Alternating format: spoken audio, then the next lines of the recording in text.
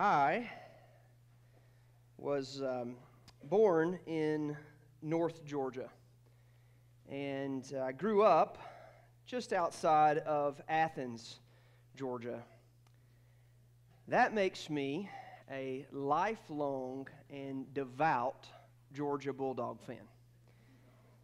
And I don't talk about this a lot from the, the pulpit. I don't, I, don't, I don't rub this in. I don't, I don't just talk about, I don't, I don't talk about this as much as I'd like.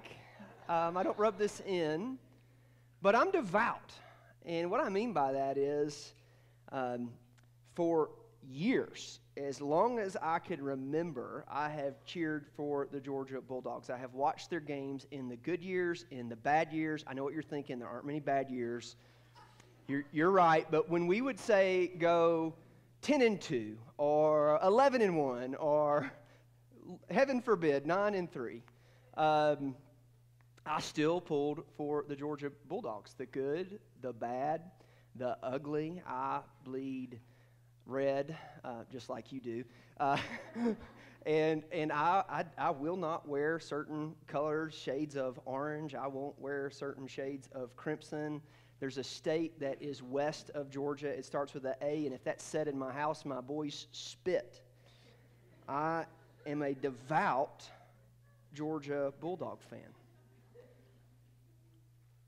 Tomorrow night, we play for our second uh, national championship in a row if we, we win. We're playing for consecutive national championships. It doesn't happen often. The last time a team did it, this team starts with the A, uh, it was in 2010. So the last teams to have tried it, one team that starts with an A and the other one, the other side of Athens, the east side over there, um, they've lost. And man, there's a chance that we lose. And as a devout fan, I'm going to do our tradition in our household tomorrow evening. We're going to put out our Georgia flag.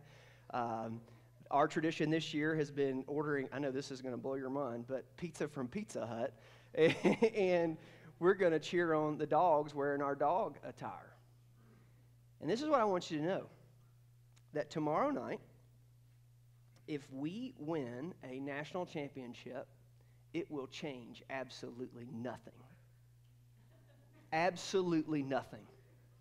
And if we lose tomorrow night, which I don't think will happen, but very well could happen, it will change absolutely nothing. Guess what? On Tuesday morning, the sun is still going to come up.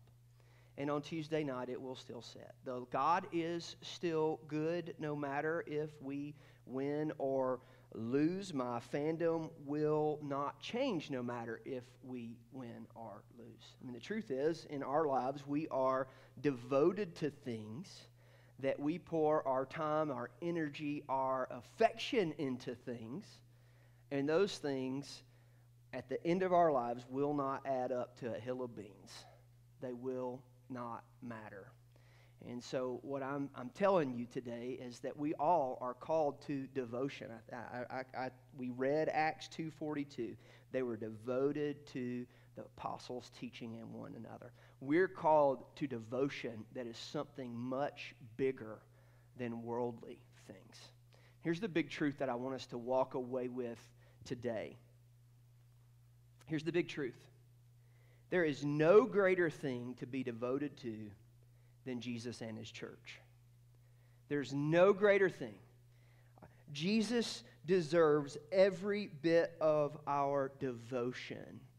Um, and in his church, he says to, he gives us the command to be devoted to his church. And so that's what we do. There's no greater thing to be devoted to than Jesus and, and his church. We're going to be continuing in the book of Luke, and we're going to be in chapter 2 uh, still. We're we've, we slowly working through this. I think this will take um, a year, and it will take a year only because we do some different. I do some video devotions and those kind of things to help uh, cover some of our passages of Scripture. And so we're going to be in Luke chapter 2, uh, starting in verse 22 this morning. And when the time came for the purification according to the law of Moses, they brought him up to Jerusalem to present to him the Lord, as it is written in the law of the Lord. Every male who first opens the womb shall be called holy to the Lord, and to offer a sacrifice according to what is said in the law of the Lord. A pair of turtle doves or two young pigeons. So I want to stop there and show you my first big idea as we start breaking apart this text, expositing God's word this morning, uh, taking it apart and looking at it. Here's the first big idea.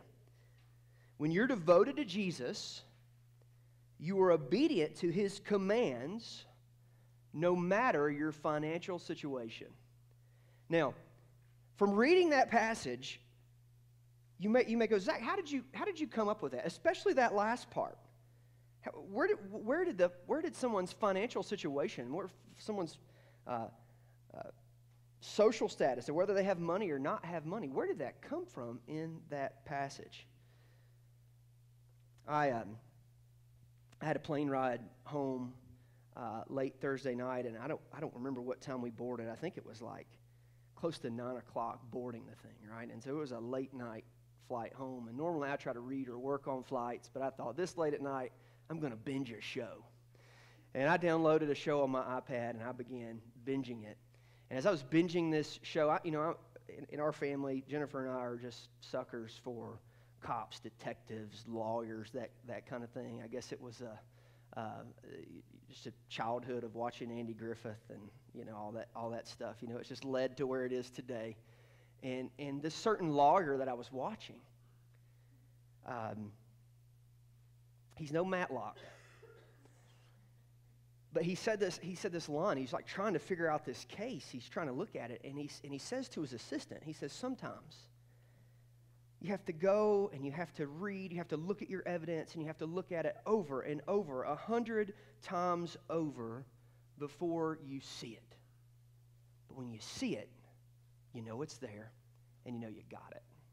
And I feel like that's what I did with this text this week. I felt like I read, read this text over and over and over, and then it was like, there it is. When it came time for their purification, according to the law of Moses, right, their, their devotion is, is showing, being shown in their obedience. This is what they're supposed to do. They're supposed to take Jesus just like everybody else, because it's written in the law of the Lord in, in um, in Leviticus, I had to go through it in my head. I was about to say Lamentations. Lamentations, isn't it? Uh, in Leviticus, it's written in Leviticus, this is what you should do. Every male who first opens the womb shall be called holy. You take your male child and you, you go um, into Jerusalem and you go to the temple, you present them to the Lord, and you offer a sacrifice. This is what obedient follower uh, of God, this is what a good Jewish person would do. They would go and they would offer a sacrifice. But listen what it says a pair of turtle doves or two young pigeons. And that's the clue. I went to Leviticus 12 and I began to read. A year old lamb is actually what was required as the offering, not two turtle doves, unless you were poor. And if you were poor, when you went in this act of obedience, God made a way for you to still give. So, what you should have given was a, a year old lamb and a pigeon or a turtle dove. You could make that as your this, this sacrifice. This would be your, your offering. But if you were poor, you could, you, could, you could skip the lamb and you could just throw in two pigeons or two doves, which would be financially way less. And this is what we know to be true of Jesus, Jesus' parents, Joseph and Mary, that they were young, that, that they were just together. They were betrothed and, and engaged and then would be married, and that they would be young and that they would be poor. As I read this, I, I began to think, you know, there, there's a decent chance that if Jesus' parents walked into the average church in America, they would be looked down on because they're poor. Because in our country, in, in our materialistic world, we so often look down on or have prejudice to those who do not have. In our country, we very much are a country of the have and the have nots. And man, this is what we see. In, in, in God's house, there is no have and have nots. You either have him or you don't have him, and your, your financial situation, the amount of money you have, does not change that. And then we see this ethic through, throughout Scripture, don't we? In, in our country, we think money, money, money, money. We think prosperity. We think gain, gain, gain, gain. We think security comes from it, but, but yet, here we see that it doesn't. I'm, I'm just going to follow even Luke's train of thought in the book of Luke. Luke chapter 6 in the Beatitudes. And of course, the Beatitudes are also in the other synoptic gospels, um, most famously in Matthew, but, but they're used here. In, in Luke 6 20, Jesus says this He lifted up his eyes on the disciples and said, Blessed are you who are poor, for yours is the kingdom of God. Here he, he, he says, Blessed are the poor. We, we know what's later said when we talk about the rich young ruler and what Jesus said. It's harder for the rich man, uh, it's easier for him to uh, enter through the eye, a camel to enter through the eye of a needle than it is for a rich man to enter into heaven. If you skip down to verse 24, he says, But, but woe to you who are rich, for you have received your consolation. You, this is what you've got, what you've earned on earth and what you have failed uh, to give to me, what you failed to render over to me. You've got what you have here on earth. You've denied me. You've rejected me. But look at the, the poor person who knows they needed me. Continue on. Go to Luke chapter 12, verse 32. He says this Fear not, little flock, for it is your Father's good pleasure to give you the kingdom. Sell your possessions and give to the needy. Provide yourselves with money bags that do not grow old, with a treasure in the heavens that does not fail, where no thief approaches and no moth destroys. For where your treasure is, there will your heart be also. And so we're reminded the things that we, we hold on to, the treasure that we, we hold, hold on to, that's going to show where your heart is. And if you're devoted to Christ, guess what? Your bank account is going to tell it. And this is what was true. Think about this, this young couple in Mary and Joseph who did not have two pennies to rub together. They went and did what they were called to do. Their, avo- their devotion led them to, the, uh, to, to be obedient to the commands of Christ. This is what the law said to do. This is what they did. It's, it's, a, it's a beautiful it's a beautiful, obedience is a beautiful thing. It makes me think there of the widow's mite, Luke 21. Jesus looked up and he saw the rich putting their gifts in the offering box, and he saw a poor widow put in two small copper coins. And he said, Truly, I tell you, this poor widow has put in more than all of them, for they have contributed out of their abundance but she, out of her poverty, put in all she had to live on. And so I look at this beginning passage, that the very first steps after Jesus is born. They wait eight days. It says in the prior verses, Jesus is circumcised, and then according to the law, they did what the law prescribed, what the Lord commanded. They waited the time period, and they made the, the five mile travel from Bethlehem to Jerusalem to sacrifice, to offer Jesus, just, just as we see in the Old Testament, this offering of the Son, to go, hey, we're offering our Son, Lord, He is yours. It's a beautiful thing. It's a beautiful thing. And the devoted Christian will live their life this way. Not devoted to the things of the world, but devoted to Christ. And your actions then will follow it.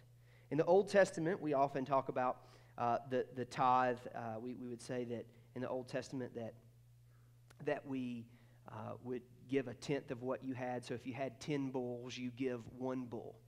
Well, that's a very, it's true, that's true, uh, but it's a simplified way of looking at it because there's multiple offerings throughout the year. There's, there's Thanksgiving offerings, there's sin offerings, um, there's offerings at certain festivals and this festival. So, in, in reality, it was more. In the New Testament, we kind of look at that and go, okay, this is the principle that we would then give a tenth of what we earn to, to, to say, hey, this is to Christ. This is who I'm devoted to first. That this is a first fruit offerings, that this comes first. And it's beautiful what the Lord does. That the Lord says, hey, it doesn't matter how much money you have or don't have. Your offering is your offering, and it's beautiful. I mean, he looks at the, the, this widow's mite who gave out of her poverty. I'm often blown away in our church by our college students because this is what I know. Um, some of our college students, they poor. you know, they, they, are, they are walking, living poverty in our midst. Like I, I remember one pastor telling, a, he, he pastored a church with a lot of college students, and they passed the, they still passed the plates. And he said one Sunday they got a bacon, egg, and cheese McGriddle. And I was, you know, he was like that. It was a college student, no doubt. You knew exactly who did it. It was a college student that it, I'm blown away that our college students, so many of them, are just faithful to give. Some of our college students outgive some of our families. They're, they're, they're devoted. They're going, you know, I don't, I don't have much. But I'm going to give, I'm going to give away first. I'm going to trust the Lord in, in this obedient action. I, I, could just think that there would be a lot of couples that would be in Mary and Joseph's position that go, look, we don't have anything. We don't have nothing. Let's not even waste the trip and insult the Lord. But the beauty of, the beauty of this is we don't, we don't bring anything to the table, that it's all gifts from God. And no matter what He's gifted us, we turn around and we gift it back. It's, it's, it's the beauty of devotion and following Christ. So, no matter your financial situation, we all have the ability to, when we give, it takes the treasure. It, it makes us, it recalibrates our hearts to say, hey, this isn't just about giving, this is about our devotion to Christ. Now, let's keep going. Verse 25. Now there was a man in Jerusalem whose name was Simeon. And this man was righteous and devout, waiting for the consolation of Israel, and the Holy Spirit was upon him. And it had been revealed to him by the Holy Spirit that he would not see death before he had seen the Lord's Christ. And so he came in the Spirit into the temple. And so I, read this passage. We, we read of, of Simeon, Simeon who would have been there, um, someone who worshiped faithfully at the temple, who showed up at the temple, who was looking for the Messiah, who was looking for the advent of Christ. He was, he was looking for the Savior to come. That's what Simeon was doing. Simeon had read the Old Testament. He knew the Old Testament. He knew that it, what it prophesied, that a Messiah would come, that a Savior would come. And so he waited expectantly. He visited the temple. He worshiped. And somewhere in there, the Holy Spirit revealed to him hey, you will not taste death until you get to meet the Messiah. Now, I want you to understand something. That's a gift there would have been many, many, many, many, thousands and thousands of others of Jewish people who longed to see the Messiah, who longed for the Messiah to come, that would not get that opportunity. But in the Lord's sovereign hand, with his sovereign plan, he blessed Simeon and he told Simeon, hey, it's coming. And so it had been revealed to him by the Holy Spirit, and he's sitting there, it says. And the Holy Spirit nudges him. The Holy Spirit was upon him and says, Get up and go to the temple. And so here's my next big idea is that when you are devoted to Jesus, you walk in his spirit. At, at, at, our church, we often say, if not in the power of the Holy Spirit, then the power of who? If not in the power of the Holy Spirit, then in the power of who? Well, the answer to that is yourself. And you're, you're living in your own flesh. You're living in your, your own power. You're not dependent on what the Spirit would do, the way that the Spirit works. And so, some of you, as I say this, you're like, I have no clue what you're talking about. I've never really felt a nudge from the Holy Spirit to do something. But yet, this is what we know that the Spirit moves and works, that the Spirit draws people unto Himself. That, but what, when we were in rebellion to God, when we had hatreds in our heart towards God, that, that, that movement of our heart towards God was the Spirit working in us. And what we know is that those who confess with their mouth that Jesus is Lord and believe in their heart that God raised their Son from the dead, God saves. And when He saves you, He puts your holy, His Holy Spirit in you. Galatians 2:20 says, "I've been crucified with Christ, and it's no longer I who live, but it's Christ who lives in me." And the life I once lived in the flesh, I now live by faith in the Son of God. That means you are walking in the Spirit. I, I can I could walk through hundreds of times in my life where I, I just felt this is the right thing to do. This is this is uh, this is what we ought to do. This is this is what the Lord is calling me to do, and I ought to do it. And man, there's been some times where I wasn't looking for that, sometimes where it was, it was a, a, a random act. It's a, it's a, hey, the Lord put somebody in your path. You ought to go over there and talk to them and share Jesus with them. And then you do, and, and, and the Lord moves and works.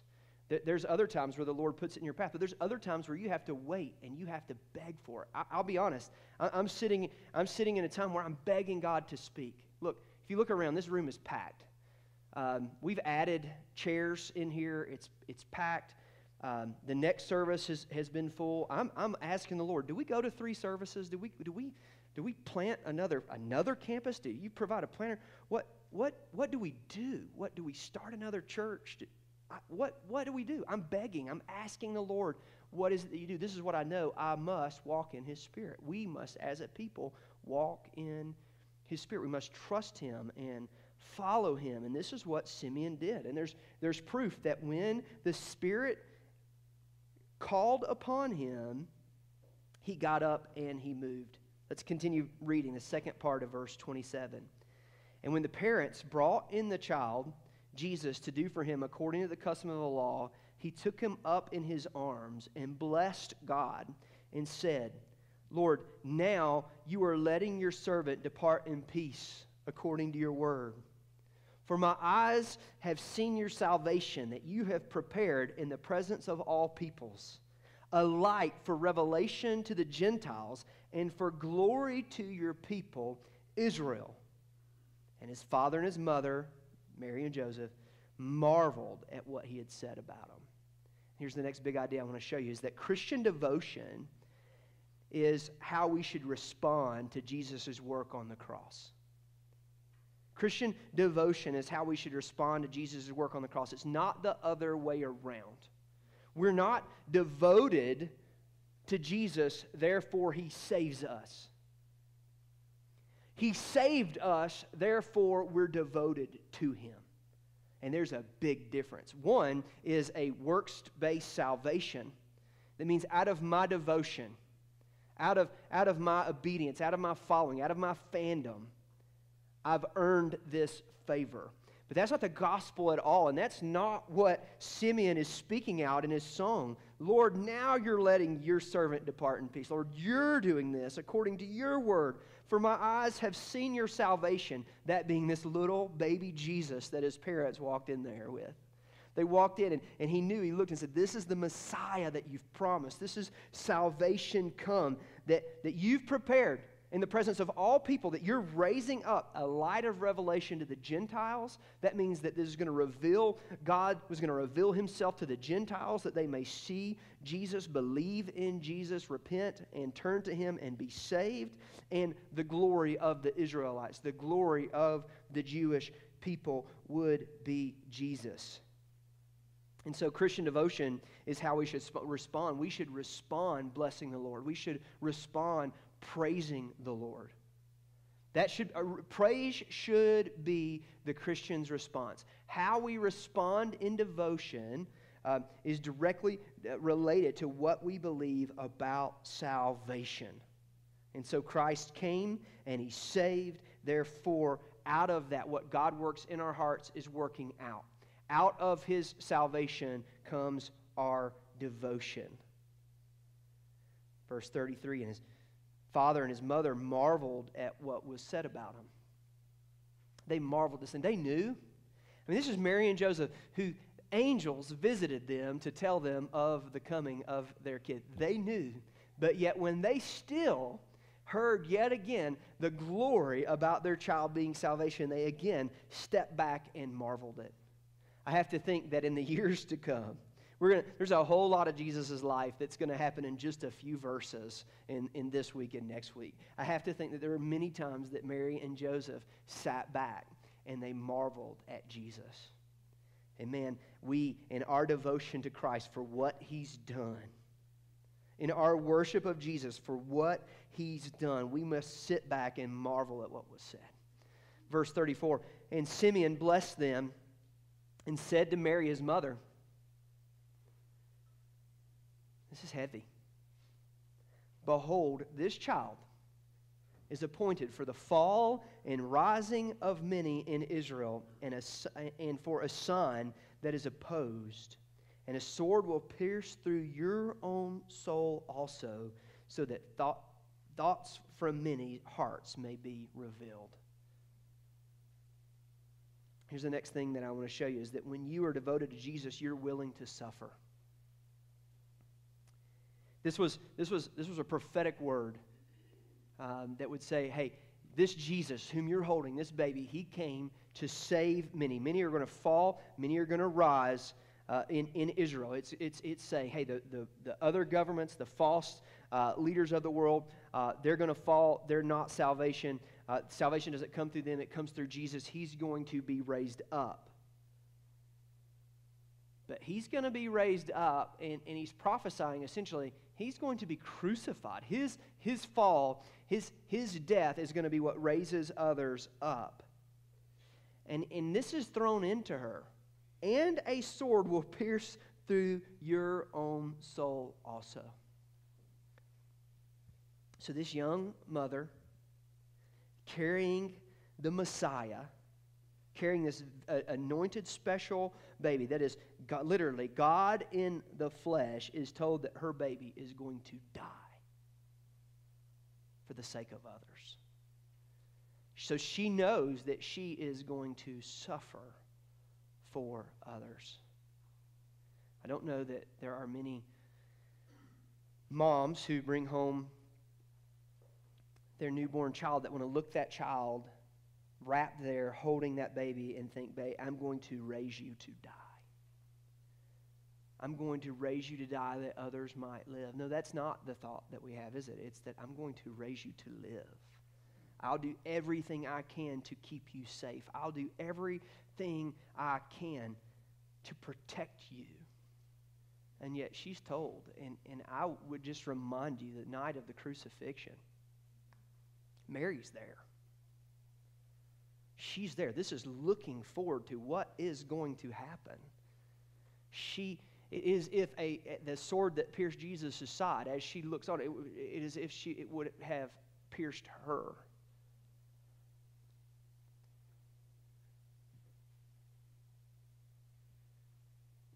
In 2022, as my brother was in the hospital all those days, as he was withering away, I watched my mom sit by his side and hold his hand over and over and over. She would say, If I could take this from you, I would. If I could take you from this, I would because I love you. I don't want to watch you die. And man, when my brother died, I was holding one hand, his wife was holding one, and my mom was rubbing his head. No mother no mother wants to watch her baby die, but I guarantee you this that every mother in the room would suffer that her children might not. That's what love is, right? And here's the beauty of the gospel, and this is what we see that's going to build in Scripture, is that Christ would suffer for us because he loved us. Christ would suffer as a mom would suffer so that her child would not. Christ was the only one who could suffer. Christ was the only one who could pay the price for our sins. The mother's love could not take that away. Your mother's love cannot pay the price for your sins because just like Mary, by the way, Mary was a sinner. She, she was just, what was she just doing? But paying a sin offering. Because our mothers aren't perfect, because our mothers are sinners. They can't pay the price for our sins. Only Jesus could. And here's the beauty of this as devoted followers, this is what we have to learn. Mary obviously was willing to live and to suffer so that others might live, and we ought to be the same way. Devoted followers of, of Jesus must be willing to suffer. If we look farther down in, in Luke, we're going to see that. We're going to see over and over in Luke that we're called to suffer, that we're called to follow Christ no matter what. Continue, verse 36. And there was a prophetess, Anna, the daughter of Phanuel, of the tribe of Asher. She was advanced in years, having lived with her husband seven years from when she was a virgin, and then as a widow until she was 84. She did not depart from the temple, worshiping with fasting and prayer night and day, and coming up at that very hour, she began to give thanks to God and to speak of him, to him all who are waiting for the redemption of Jerusalem. So here's my next big idea is that when you are devoted to Jesus, you're willing to wait on God to move. She was advanced in years, might be the biggest understatement in this passage. This lady was old. She lived with her husband seven years from when she was a virgin. So, um, man, let's say if she was Mary's age and was 13 when she got married, that means she'd be at, at 20, right? And then as a widow until she was 84. So think about that. From let, let's say so there's different interpretations of how old she was. Some people think that she was a widow 84 years. Other people think that she was 84 years at this this point. So if some people are right, and, and they and, and she lived without her husband 84 years, you've got to think she's like 104. If not, uh, she she's 84 and she's been without a husband 64 years. E- either way, look look at her her waiting on the Savior to come is impressive, isn't it? So Anna, the prophetess, who would have hung around the temple, who would have been at the temple daily. She was a devoted person. She wasn't just devoted a little bit, it's a lifelong devotion, a lifelong following uh, of, of God, a lifelong pursuit of waiting on the Messiah. She did not depart from the temple. She, some, some scholars think she may even live just outside of the temple's walls, worshiping, fasting, and, and, and prayer night and day. This is a devoted lady. She was devoted. For, for years and years and years, she was devoted. And at that very hour, she began to think, get thanks, give thanks to God and to speak of Him to all who are waiting for the redemption of Jerusalem. Listen, in our world, we live in an a world of instant gratification. Most of us at this point think Amazon Prime is too slow. We think our emails deserve immediate responses, that our text messages deserve immediate responses. Like we, we, we want, we get. We want it, we go get it. We go to the store, we get it. We are very bad at waiting. And sometimes we're going to have things put in our life that are way, way bigger than man's hands, way bigger than our ability to order it on Amazon. And what we're going to need is the power of a living God to move. We're going to see things that are so far beyond our ability, no matter how much money we have.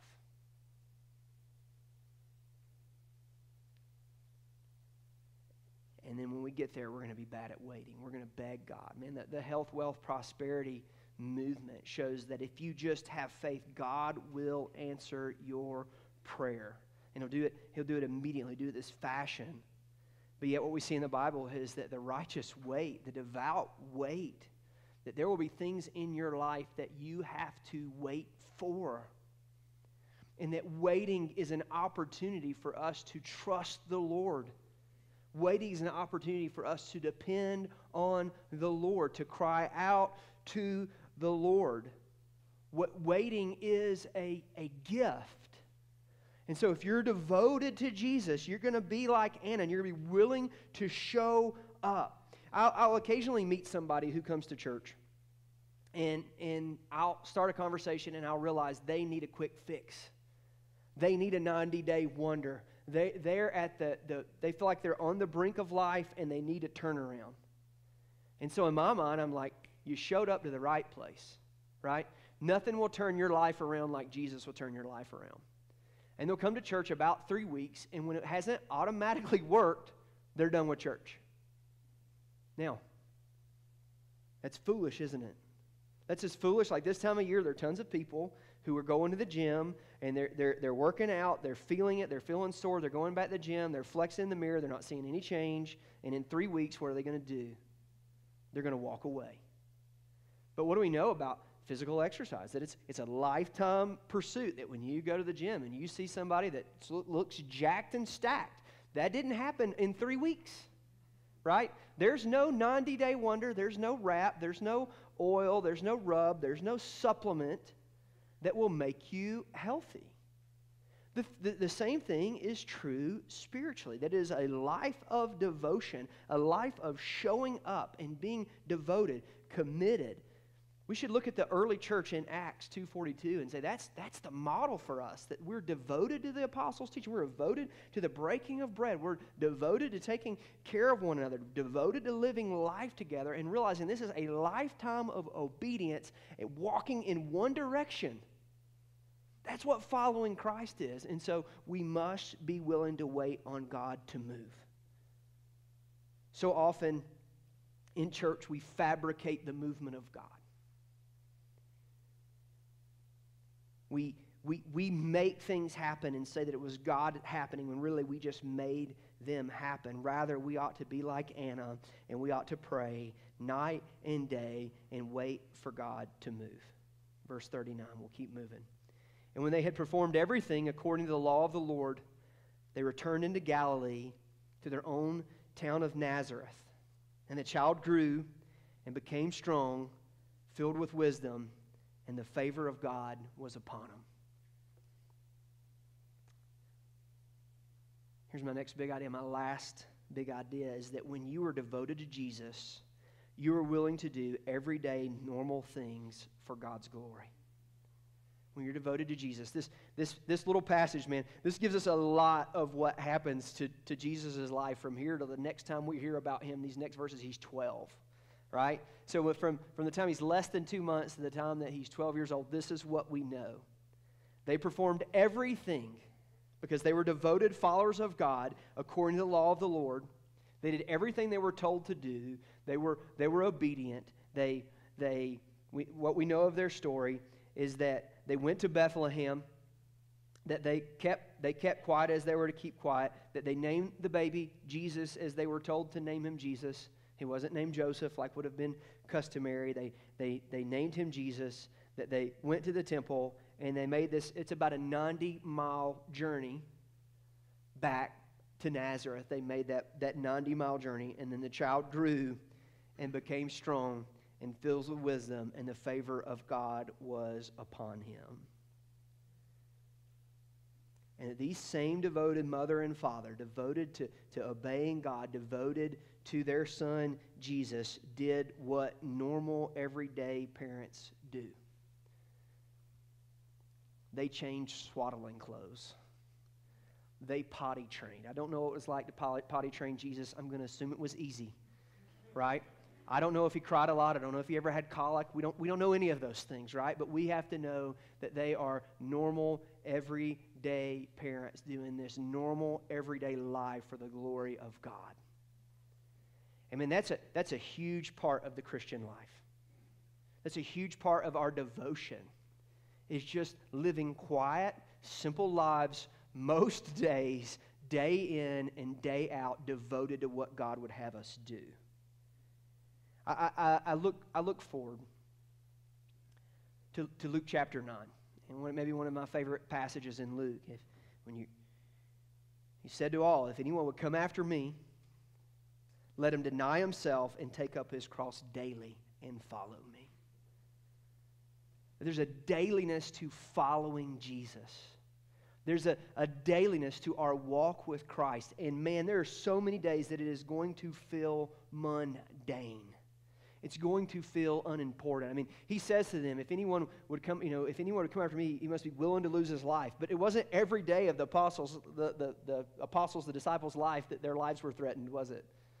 There were some days they just went fishing and cooked on a shore and, and heard stories from Jesus, right? There, there are days in the advancement of, of Paul in the church where, where, where Paul had a pretty mundane day. And we must be willing to do the very normal, mundane things. And so, man, if, if I, could, I could show you what devotion looks like in a passage of Scripture, I probably would not have picked this one. But isn't it beautiful that we look and we see that Mary and Joseph being willing to give, even though they were poor, brings God glory? It shows their devotion. That Simeon, living in the Spirit, doing, being nudged by the Spirit, walking in the Spirit, shows his devotion. That in his, his worship, in his song that he wrote, in his praise, in his taking his, his mind's attention and his heart's affection and putting on the Lord for who he is and what he's done, it shows his devotion. For, for Anna, showing up and waiting over and over, day after day, night after night, praying and fasting and waiting on the Messiah, that in her waiting, it brought God glory, and that in Mary and Joseph, normal, everyday rearing of their child and loving their child, it brought God glory. At our church, our mission statement is very simple. We want to glorify God by proclaiming Jesus Christ. That's our mission statement as a church, and that should be your mission statement to live by. Be devoted to Christ and live your life to bring him glory. Father, we love you and we thank you for your word. It is a gift, and we thank you for your church. Thank you for these people in this room and how much they mean to me, how much I love them, how much I care for them. Now, Lord, I, I, thank you that we're able to gather together and to pursue you, to pursue bringing you glory and honor, to make your name famous in the everyday things of life. Lord, I look at our little, our little church. I look at our $17,000 that we raise for missions. I realize that in, in a lot of ways that's a widow's mite. I know there are churches that raise 10 times that for missions. But yet, in our smallness and in those moments, and in a bunch of college students and our, our young adults, our adults, or that we're willing to give sacrificially, that we're willing to follow you, to be devoted to you. And so, Lord, increase our devotion to you. Lord, let our faith and trust be in you and not our own works. May our devotion come from what you have done for us. Lord, may we uh, believe in our hearts that you raised your son from the dead and live by it. Lord, may we as a church bring you glory. In Jesus' name, amen. Let's stand and sing a song of response.